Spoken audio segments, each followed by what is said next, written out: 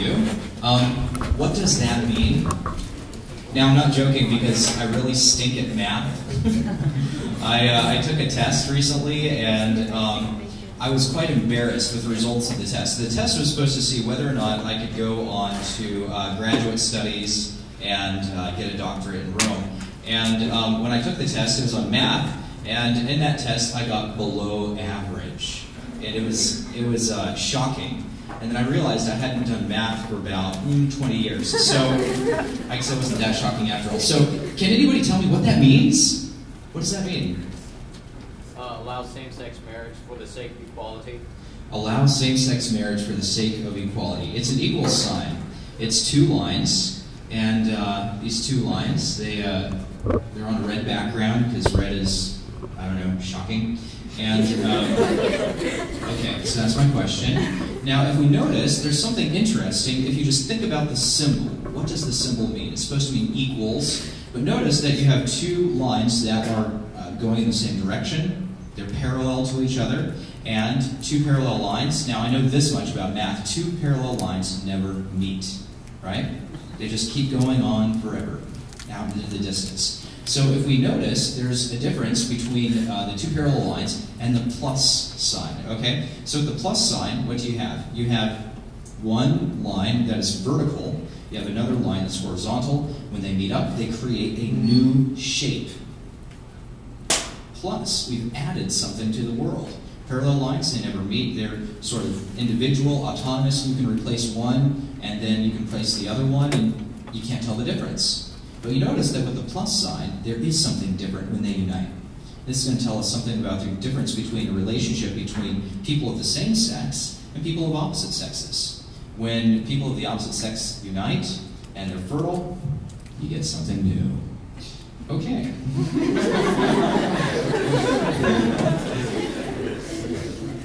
I know this in theory. Okay. So, uh, so first, I think it's helpful to talk about what counts as gay. Sometimes people uh, talk about, you know, how do I know what gay is? And sometimes people are wondering, am I gay? And um, I'd just like to point out some things that aren't gay. So first, it's questioning. Is questioning gay? If, if you question yourself and your orientation, does that imply that you have a stable orientation? No, of course not. To question is to wonder about something. And of course, sometimes people, um, they wonder about who they are, sometimes they wonder about different things. When I was a kid, uh, one of the things my dad told my brother and I to uh, keep us busy when we'd go on these long car trips in um, going from California to North Dakota my dad would say, you know, if you can kiss your elbow, you will turn into a girl. Have you heard this before? Okay, I guess that's just my dad. anyway, um, you know, so of course it was just my, yeah, exactly. That's that's right, Pablo. That's exactly what my brother tried to do. He's so for the next two hours, he's. Like, yes, do it, do it, do it. the thing is, questioning is not the same thing as being, right? To ask a question that's kind of up in the air. Well, I wonder, what, am I this or am I that? One of the most popular questions that people ask on the internet about uh, homosexuality is, am I one? Am I gay? That's interesting, isn't it? What it implies is that sometimes people, like, they're not sure. It's sort of um, like, I know that, uh, I know I'm a man, okay, but I wonder, is there something inside of me? Is there something that I don't know about myself? Also, I would say that simply to be attracted to somebody else does not mean that a person is gay. Okay? So, for instance, um, sometimes people just, uh, you notice somebody who is of the same sex and you go, wow, that person's good looking. We can acknowledge this, right, guys? And um, it's, it's, it's, it's, this it's, in itself does not mean that a person is gay. All it means sometimes is that they can recognize beauty I remember um, when uh, when I was in high school, I was dating. You know, yeah, you know, we do that. And um, I mean, not anymore, but so, yeah. So the uh, so there's my girlfriend, and um, you know, I thought she was good looking because why, you know, anyway. So um, anyway, but, uh, one thing I started to notice is that she would dress a certain way, and I would say, you know, why are you dressing like that? I think you look great. You know, you don't have to put on all makeup and the hair and whatever. And she says, I'm not doing it for you. I'm like, some other guy? No, she's actually dressing for the other girls. Haven't you noticed this? That girls check each other out? Yes, yes. Not in a sexual way. They're just, they're watching what each other is wearing. They're kind of like, hmm, you know, they're paying attention. Oh, you got a haircut, and oh, you know, look at that. So, like, so simply to notice that that somebody of the same sex is beautiful does not mean that you are gay. It could mean, as I said, simply that you recognize beauty. Now we're going to go beyond that just a little step and to say to be romantically attracted to somebody. Okay, that's obviously deeper than recognizing beauty. But to be romantically attracted to somebody who is of the same sex doesn't mean that a person is gay either. It simply means that perhaps there's emotion there. Sometimes we can get confused about our emotions. You think, yeah, I, you know, I like this person, they're my friend, and then there's something that starts to happen, and you start to wonder, oh, oh, well, that, that's a different feeling. It, it's no longer friendship, and you start to wonder, well, what does that mean about me? I, and people can get confused, and they wonder what's happening interiorly. I would say, don't worry about it simply to start to feel a romantic feeling towards somebody toward whom you shouldn't have that feeling, it could mean that there's just something in your heart that needs to be guarded a little bit more. Because I'm going to suggest that uh, the term gay means something very specific in our culture. And it doesn't simply mean questioning or attraction. And also, it actually doesn't mean a same sex sexual act. It's kind of a not a great term. I was trying to figure out homosexual sexual act, homosex. I think that's the best term. So um, it's sorry, but I don't know what else to call it. Um, a same-sex sexual act does not mean that a person is gay. So, for instance, people can be experimenting, where sometimes people, um, uh, you know, they're they're in an intoxicated state. Somebody isn't thinking about what they're doing, and now they perform a sexual act, varying degrees, uh, with somebody who's the same sex. Does that mean, oh no, I'm gay? I've done this one thing in my life, and now suddenly I can't go back. My, my identity is now confirmed, it's set in stone, it's never going to change. This is who I am. That's not the case. It's just simply not the case because we know, similarly, if you perform, you know, one act, let's say you steal something, does that make you a thief? Well, no, of course not. You say, well, I, I stole something one time, I repented of, of it, I'm sorry, it doesn't mean that you're a thief, though. A thief is somebody who does this habitually, somebody who does this often. They're thinking about it. They get you know twitchy fingers when they go into uh, the market, you know, and they're kind of uh, trying to find that candy bar or something if it's not Lent. See, a, a, thief during Lent won't steal a candy bar. They'll go for you know like an orange or something. They'll wait till Easter. okay, so um, so same sexual act, just the act itself does not mean that a person is gay. Understood in this modern concept. Um, same sex romantic feelings. Okay, so we talked about that also. Um, now, I'm not suggesting that the term gay is something that I approve of or that I think makes a lot of sense. Um, it's an ambiguous term. Sometimes it can include all of those, depending on who you're talking with. So sometimes people say, well, um, uh, you know, what does the Catholic Church think about gays or homosexuals? And it's always helpful to distinguish. What are we talking about? People who are questioning, people who have an attraction, people who've done something, maybe one time or a few times, or people who have, you know, sort of stable feelings. Because sometimes people who have stable feelings toward the same sex, maybe there's somebody who always feels that way, a man who always feels that way towards men or a woman who always feels that way towards women. Even then, they might not take that identity on themselves. They might say, you know, I kind of wish that I was more attracted to somebody of the opposite sex. Sometimes people who are in that situation, they say, I wonder why I feel this way. Why am I attracted to somebody who's of the same sex? And so then they try to explore that, and eventually they discover, well, I need there, there's some healing that needs to happen.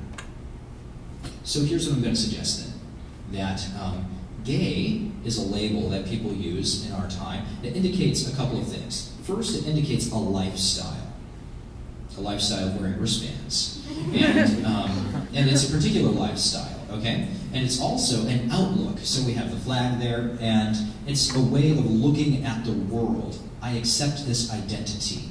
And so now, whenever I look at the world, I identify people as gay or not gay. And sometimes people take that identity, and sometimes they don't. If they do take it, sometimes they look like that. Um, okay?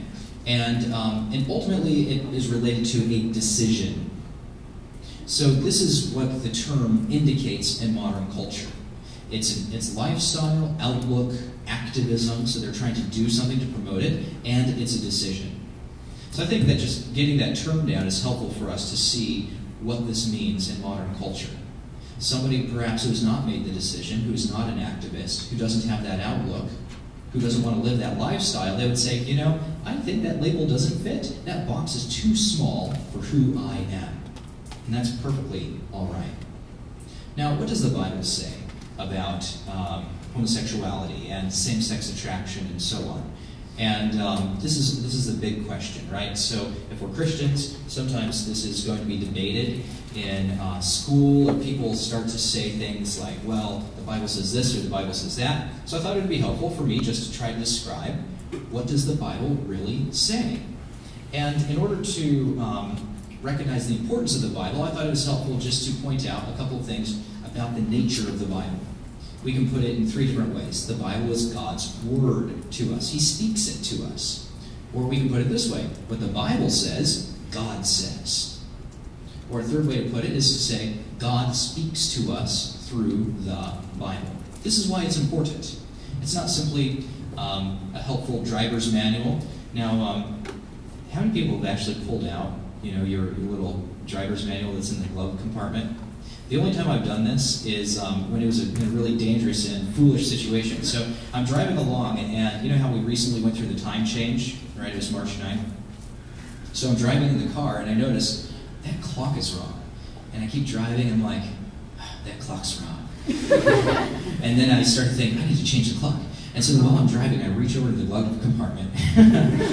Don't try this at home. And, uh, and I pull out the manual. I'm like trying to find you know the index that says change clock, and I'm like swerving around the cars, you know. And okay, so the Bible's not like that. It's not like a, a manual that we only pull out when um, we find it's you know convenient or necessary or dangerous. Um, instead, the Bible, as I said, is God speaking to us. So if we know what the Bible says about something, then it's God telling us something at the same time. It's God speaking to us right now. So first, the Old Testament. What does the Old Testament say about this sort of thing? Well, um, when I started looking up um, same-sex activity, uh, sexual activity, I started noticing that in the Old Testament it was always contained in a context of other grave sins. So in Leviticus chapter 20, this is sort of the most famous part, before even getting to anything else, it starts to talk about what we are not to do. We are not to sacrifice children to the god Moloch. Basically, people would have babies and they would burn them on the altar to this idol in order to get rain or in order to, well, have more money. Sound familiar to abortion? It also says that we're not to commit adultery.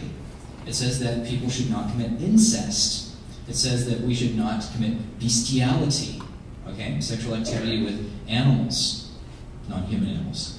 Um, and it says that the penalty for all of these is death. Wow. Sacrificing children to the god Moloch, adultery, incest, bestiality. The penalty for all of those, if you were an ancient Jew, is you would die.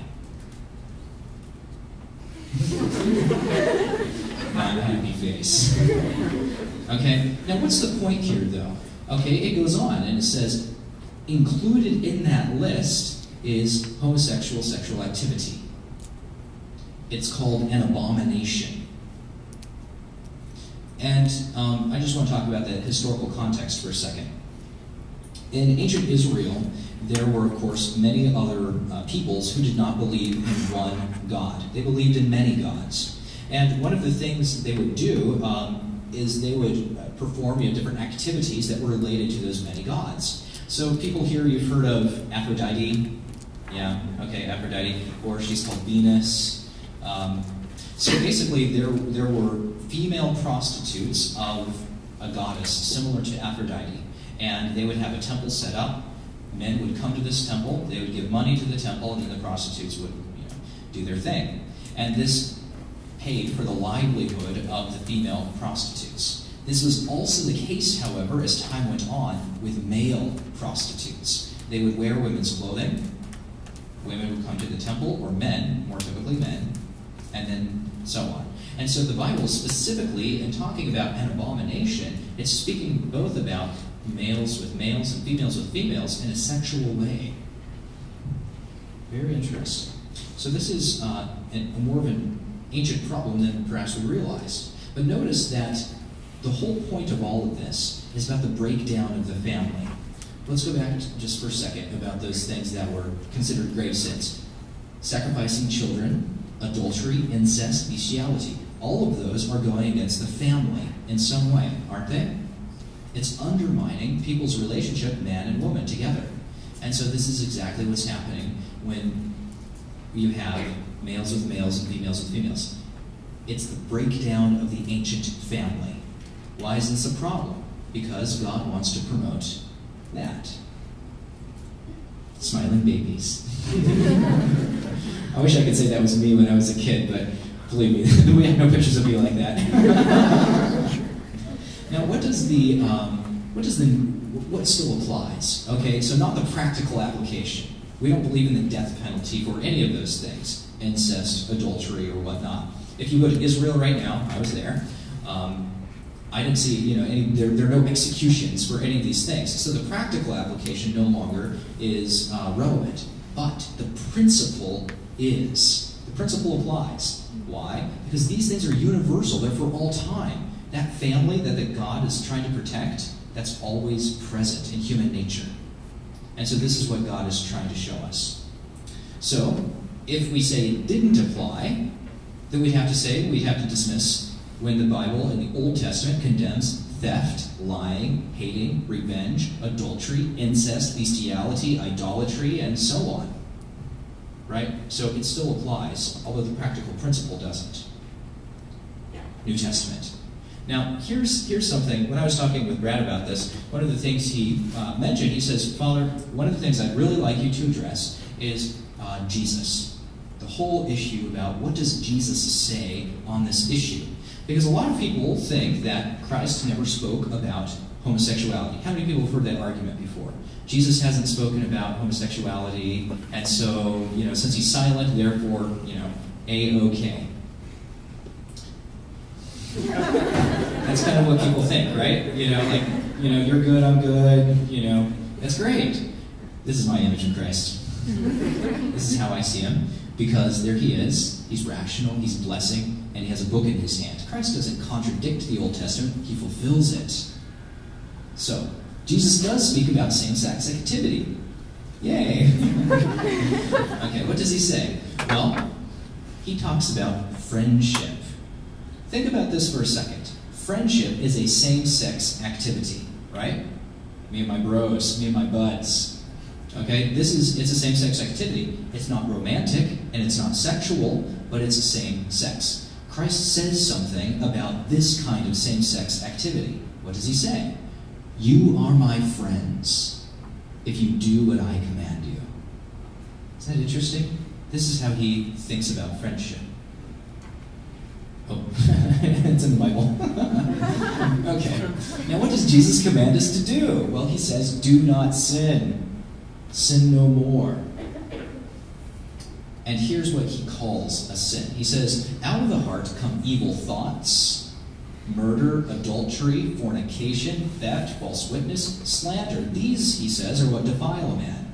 Notice anything interesting about this list? It's very similar to what we saw in the Old Testament, right? It's actually almost exactly the same. And if we want to know if Christ is speaking about same sex sexual activity in this case, well, we just have to look at a couple of definitions. Okay? He says, sin no more. What does Jesus Oops, I'm going the wrong direction. There we go. Technology. Okay, there we go. Okay, there we go. So, first, he's adultery. When he condemns adultery, he says it's sex with a non spouse. So, somebody who's married is having sex with somebody who's not married obviously not their spouse. Clear enough? he talks about fornication. That's sex between unmarried people. Now, if um, it's not that exciting, believe me. now, the um, so what we try to figure out is does um, does same sex does homosex fit into adultery or fornication? Well, the last definition we need is marriage between one man and one woman. Jesus tells us that in Mark chapter 12. So, all sexual activity between members of the same sex are either going to be fornication, unmarried, or it's going to be somebody's committing adultery. Okay, so it's very clear. This is excluded by what Christ says. What does Jesus call sin? There are the seven deadly sins, and there's the one that applies. Really, it's all of the above. okay. Does that make sense? Okay, so so he doesn't use the word homosexual. He doesn't use the precise word that we're thinking about, but he does talk about the concept. And he's showing us that this is still contrary to what? To the good of the family. Okay? So ultimately, we can say, yes, Christ does talk about this because he talks about the good of the family. One man, one woman, one baby, we hope. Maybe lots. Yay. Okay, now let's go to the, to the New Testament context these guys are more than friends. Um, this is, uh, now in Israel, in Jesus' day, uh, same sex uh, sexual activity was still outlawed. In, within Israel, where Jesus lived and breathed and walked around, if you were caught you know, performing those activities, you would be killed. So Christ, one reason why Christ never spoke about it is because it never happened where he lived. But if you go to where St. Paul lived and he was a Roman citizen? He's living in some of the pagan towns. He visited the pagan cities of Greece and made, eventually made his way to Rome. This is what was going on. Actually, I found pictures that I couldn't show you. So, um, so this, this is the New Testament context for what, what happened. Ancient pagan homosexuality. It wouldn't have been ancient Jewish because then basically it didn't exist um, as far as you know we know. Some were for it, some were against it. Plato talks about this. We know about Plato, Plato and Aristotle, okay? Not the moldable, edible uh, material. No, um, we're talking about uh, Plato.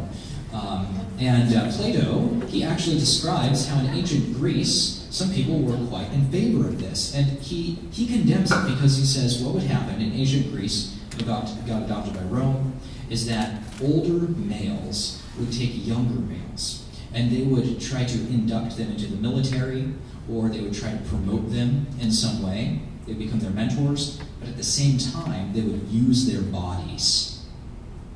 Okay? What we call that? Pedophilia. So, this is the ancient context for a lot of homosexual activity. Okay, now you know the Emperor Nero.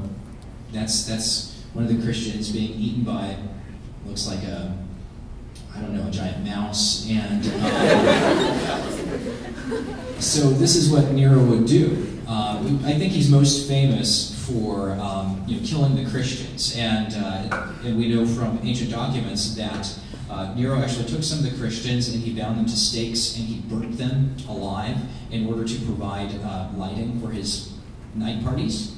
So that, that's what he's most famous for. But something that uh, people don't know is before he had all these uh, parties with the Christians, and um, where you know he got his animals involved, um, his petting zoo went wrong. Um, before that, Nero actually uh, went and had a, same-sex marriage.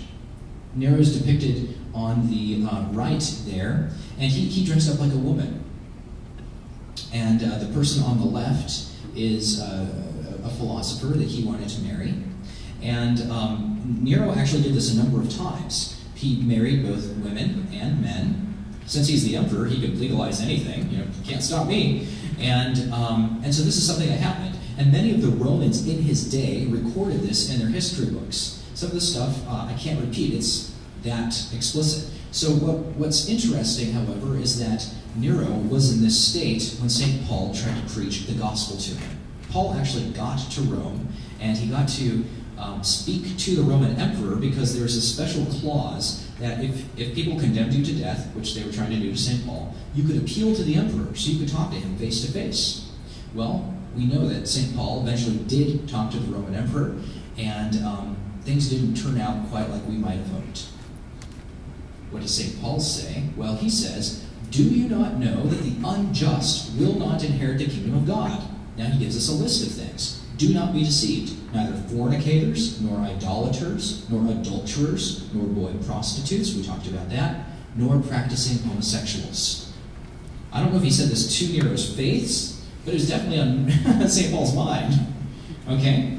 He says in another place in Romans, he says, God gave them over to their shameful lusts. Even their women exchanged natural sexual relations for unnatural ones. In the same way, men also abandoned natural relations with women and were inflamed with lust for one another. Men committed shameful acts with each other and received in themselves the due penalty for their error. Wow. Was he talking about Nero? He's talking about the culture, the pagan culture that he saw face to face. And he recognized that this was contrary to the good of the family, contrary to the human good. Here's Nero's response. I don't know if you can see St. Paul's head is kind of like tumbling down the hill there. um, so St. Paul was beheaded. This is why St. Paul is always depicted with a sword in his hand. Not because he's going to kill us, that's because that's how he was killed. So the ancient Christians just like the ancient Jews, always push up against the culture of their day, which tried to undermine the family. And sometimes the culture of the ancient Jews, well, it prevailed for a time and then it receded back. And for the Christians, it seemed like this is not a winning strategy. We might say to St. Paul, really, is this the best way to go? Shouldn't you just, you know, try to compromise a little bit on your faith? And do you really want to go that far? He risked his neck for it. now, one thing that people start to say is, um, like, you know, one answer to this is, we're not supposed to judge. Judge not, right? We're not supposed to judge people. So if I'm judging, if I'm saying that thing is wrong, aren't I going against what Jesus tells us? So here I just want to tell you a little story about a Dominican sister's grandma.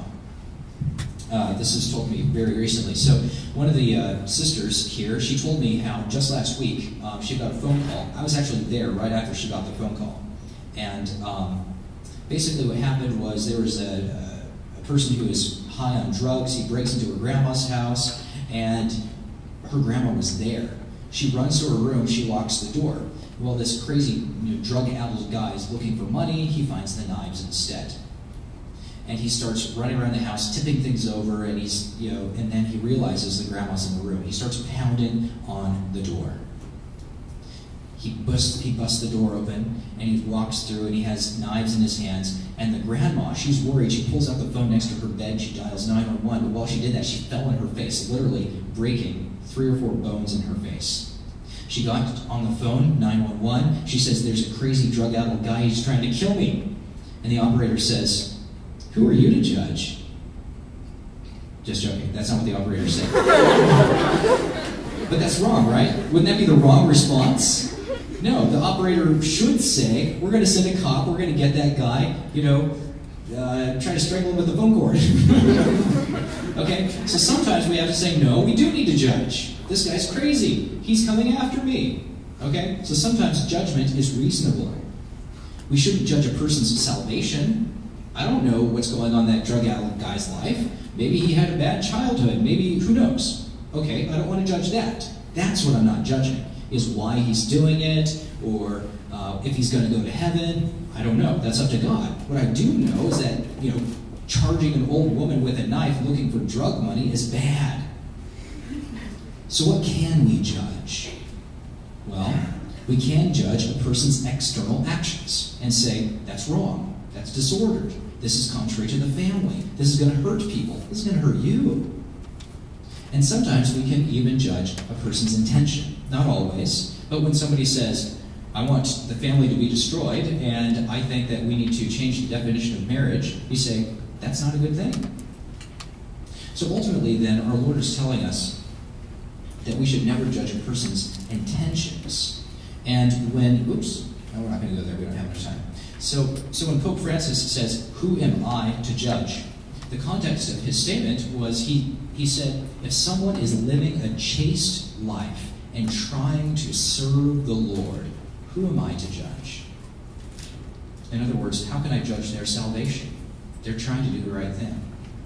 And that ultimately is what we are called to do, is not to judge people's salvation, but to try to bring them closer and closer to Christ through our love and our charity. And there, I think we're going to have to uh, call it quits, right? Do we have time for questions or no? Yeah, five minutes. Okay, five minutes for questions. So I've given you a lot. We talked about the Bible, Old Testament, New Testament, judging, Nero, um, my bad math skills. So feel free to ask me anything unmath related. yeah. What happened to that uh, grandma? What happened to the grandma? Well, um, what happened was the uh, so after she fell on her face, luckily she was not too far from a police station. They actually, um, the police arrived at her house. The, the drug fellow ran away, dropping all the knives, and um, they caught him. So she's having to go through facial reconstructive surgery, though. The sister said her face looks like one giant bruise. Yeah. Okay, another uh, question? yeah. So in, in the Old Testament, um, I know that I, I I never exactly know when to say that like the death penalty no longer applies. Why did it change exactly? How did that change come about? Okay, yeah, so the question was about the, the death penalty. Why did that change? How did that come about? Basically, because in the Old Testament, the moral laws and the civil laws were united. And so when God said um, these things are an abomination, and then there has to be the death penalty, the death penalty is the civil law aspect. Obviously, we no longer live in the country of Israel. And in time, the, the country of Israel began to realize, well, that civil law is really harsh. There are a lot of reasons why it's not a good idea. And so now they're, they're changing the way that moral principle is applied. Um, and so with Christians, we don't apply any of the civil laws of the Jewish people because we're not Jewish. We don't have a Jewish state. That's part of the advantage of being a Gentile. Yeah. Yeah. Plus, we can eat uh, burgers with cheese. don't have to eat kosher. Yeah. Um, what a lot of people have said to me about Leviticus is that there's a lot of like really like weird and like specific laws in there, and that we're just like picking and choosing which ones we want to keep. How do you want to? How do you respond to that? Okay, so the question, um, it seems like there are lots of weird uh, laws in Leviticus, and it seems like we're picking and choosing which ones to keep. Well, the ones that um, we know are universally valid are the ones that also were repeated in the New Testament. So the ones that I mentioned uh, in Leviticus are actually the ones also mentioned by Christ and by St. Paul. So that's one indication. And that tells us, oh, this is a moral principle. It always applies to all people, all times. You know what else is in Leviticus? Love your neighbor as yourself. That's, that's where we got it from. When Jesus says, love your neighbor as yourself, he was just quoting the book of Leviticus. So we know that's always universal. Yeah. Another, oh, just playing with hair. Okay. No, don't look that direction. okay, another, uh, yeah. Uh, have you ever had an argument homosexual about homosexuality? Have I had an argument with a homosexual about homosexuality? Um, I would say uh, I've had discussions. I, I, don't think they ever escalated to argument, um, and certainly never to you know fist fight level or anything like that. Luckily, it wasn't like a, a math duel because I would definitely have lost. But um, no, but I've certainly discussed you know the issue with some people, and some people. Uh, it, it just depends. It's it's a whole variety of positions, and that's another thing to recognize is it's not as if everybody is all a single label. You know, that, that label we were talking about, gay or homosexual, is such a small box. And to recognize each person is unique and individual, and each person may look at the issue slightly differently. And so we don't even want to say, oh, well, they're, you know, everybody's all the same or something like that, and even in discussing the issue. Um, how do you explain the whole, like what we believe to someone who is not Christian? How do we explain what we believe to somebody who's not Christian? Yeah, when it comes to this topic. Okay, yeah. Well, um, I think that the, the fundamental thing is the family. That's, that's the fundamental issue. And as I said at the beginning, we talk about the two parallel lines. You can't produce a child from that relationship. That that is something that, in the end, is, is about mutual emotions or pleasure. But the, the man woman relationship is always related to children ultimately. And so, anytime that we want to take the child out of the relationship between a man and a woman, it's going to be bad for the child. So, I think that that's something that is that's at least a fruitful discussion. It's always interesting to see where that goes when you talk about the family and say, okay, well, you know, where does that go? Because what we would say is the romantic relationship is tending toward union of body and union of soul. And the proper union of body and soul is in the self gift that happens in marriage. Yeah. What would you say to people who just say love is love? Love is love. That's a big argument for them. Wow. I, I didn't. it doesn't sound like an argument. Um, okay. Uh, what I would say is actually there are lots of different kinds of love. We know that. I love strawberries. I love, uh, you know, I love uh, Brad. I love my mom, and um, I love to get down. You know, so these are all different kinds of love. and so it's always helpful to say to somebody, "Do you mean friendship? Do you mean romance?" And then they'll go, "Well, I mean everything." And then you say, "Well, actually, no, because the way I love my dog is not the way I love a person, and it's not the way I love somebody I'm in love with." So that's that's where I think it's helpful to kind of you know explore that, Yeah. you know, go down that trail and start to talk about, okay, what do you mean? You know, what are the fruits of that? Uh, what do you say to people who say, like, I'm made that way, I've always been made that way? Okay, yeah, great question. Um, when I gave the talk a couple of years ago on this issue, basically what we'd say is uh, the way people feel oriented towards somebody, you know, romantically, that is the product of many different causes. Partly it's genetics, partly it's actually what we call brain wiring, the way chemicals work. Partly it is their, their cultural context, what you grew up with. A lot of people who identify as being attracted to the same sex, that something happened to them when they were children. So all, all I would say is if somebody you know, says, well, I'm made that way, are you saying that I'm bad? I would just say, no, God made you good. But what we need to do is try to explore um, how you can try to order what you are. Father Ezra was made a certain way. I'm bad at math, but maybe you know through lots of effort I can get better at it. So we want to order our desires properly. It's not as if every single desire that we have is one natural, and two something that we can uh, that's unchangeable. Is it true that the rise of homosexuality also shows sort of the end of a nation's lifespan? Uh, okay, so the question here is um, Does the rise of homosexuality indicate uh, the end of a nation's lifespan? That's a complicated question, and um, the basic answer is we're not exactly sure. Those things seem to be correlated, but it's not exactly. Civilizations ends for all sorts of reasons, and we would say this perhaps is one indication just of, in general, when, the, when there's no more family, there can be no more people. Okay, here's just a little statistic. I'm sorry, Brad, I know we're going long. But okay, Japan. Uh, economists tell us that within, within by 2050, 50, 50, there will be almost no Japanese people, pure Japanese people. Do you know why? They're not having children the, the birth rate of Japan is in the negative. Okay? So you need a certain number of people to replace you, you know, in order to have a civilization. Every every man and woman has to have 2.1 children. Well, in Japan, it's like 0.0 yeah, or 0.15 or something. It's, it's really, really small.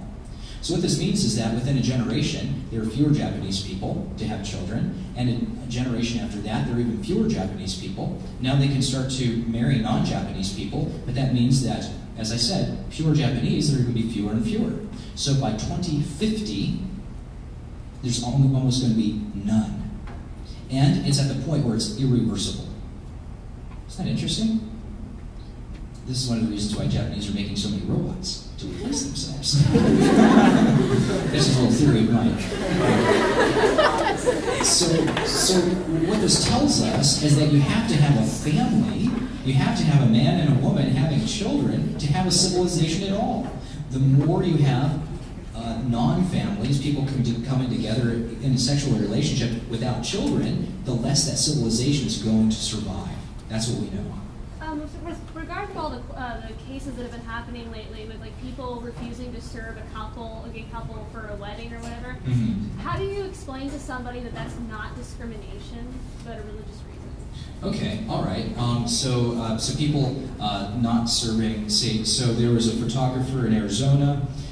She's a wedding photographer. She was a Christian, and um, to uh, a homosexual couple, they, they wanted her to photograph their union, and they called it marriage. And she says, no, I, I, don't feel comfortable with that. I believe marriage is a man and a woman. She got sued, and uh, she lost the suit. Okay.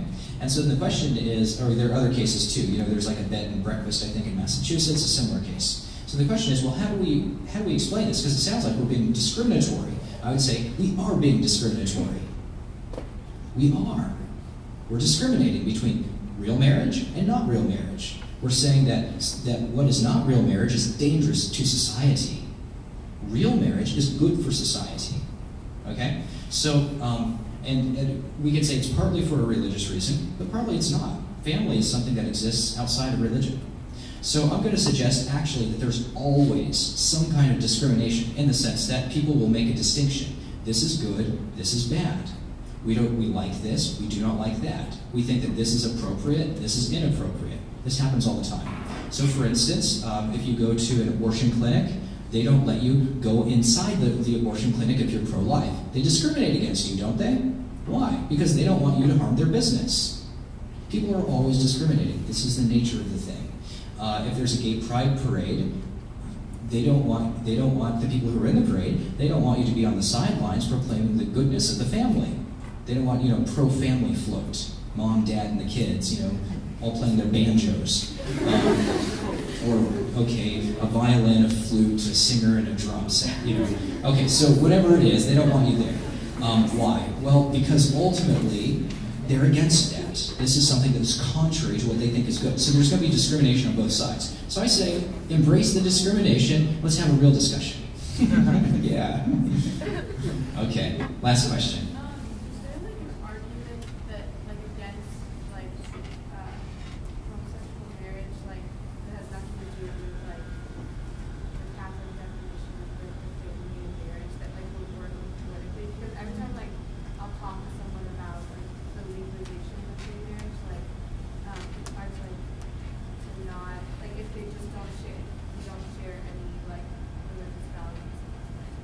I think one of the best arguments, actually, um, in, in talking with people about whether or not um, the state should redefine marriage as uh, between one man and one woman, is to say that most, um, actually, most uh, homosexuals, you know, they've done lots of studies on this, most of them actually don't want stable, long lasting marriage. That's the view that we get in the media. But study after study shows that what they actually want is, um, is to undermine this kind of relationship at all. Like what we're imagining is, well, you know, there's a man and there's a woman, they've been married for 50 years, and now there's a man and there's a man, they want to be married for 50 years also. But the best argument is to say, actually, you know what? Uh, most people who are, who are active, who identify themselves as gay, they actually have up to four partners a year, even though they call themselves uh, within, within a stable, loving relationship. We're like, wait a second, that would never work in what we would call marriage between a man and a woman. You know, the man finds out that the woman has, you know, done this, and he's, no way, no. In fact, I was just preparing somebody for marriage, and he says, if any lady looks at the woman, and he says, if you ever cheat on me, it is over. And I'm like, oh, they're not even started yet. Yeah, this is. it's a completely different thing. What, what it means to be stable in a relationship between a man and a woman. Why? Because a man cheats on a woman with another woman, he could get the other woman pregnant, and now he has children from her. If a man cheats on another man, what are the consequences? They're emotional, they're not biological. Isn't that interesting? So the whole notion of faithfulness in a homosexual relationship is completely different, and they will admit that. So I think that's that's an interesting argument to uh, say is to say somebody says, well, um, why aren't you in favor, favor of gay marriage? I'd say actually most gays aren't in favor of gay marriage, and, and then that starts an interesting conversation about faithfulness and what does love mean. So so what I'd like to do is you know to take the bull by the horns. Yeah, why not?